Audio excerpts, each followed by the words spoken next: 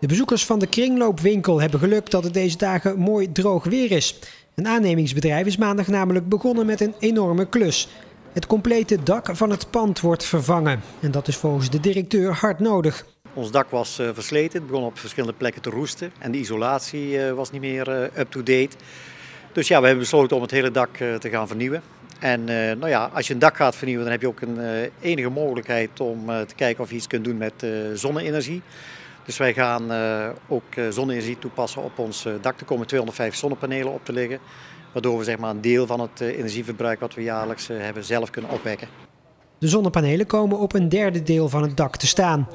Directeur Smits had graag meer gewild, maar dan val je volgens de energieregels in de categorie grootverbruiker. Dat is voor bedrijven niet handig. Ja, dat heeft het nadeel dat je in onderhandeling moet met je energieleverancier over, terug, over teruglevering. En je mag niet salderen, dus eh, je mag uh, geen optelsom maken van wat je gebruikt en wat je opwekt. Dus dat is heel erg lastig. Kan bij kleinverbruikers kan dat wel. En dan is het echt uh, interessant om zonne-energie toe te passen. En ik hoop dat die regelgeving een keer verandert, want ja, het is natuurlijk wel zo dat ze internationaal allerlei verdragen onderschrijven om energie duurzaam op te wekken. Terwijl de regelgeving die, ja, die bemoeilijkt dat eigenlijk. Is volgens mij niet helemaal de bedoeling. Tijdens de werkzaamheden aan het dak, wat twee weken gaat duren, blijft de winkel gewoon open. Het is voor het kringloopbedrijf een enorme onderneming en iets vergelijkbaars zit er voorlopig niet aan te komen.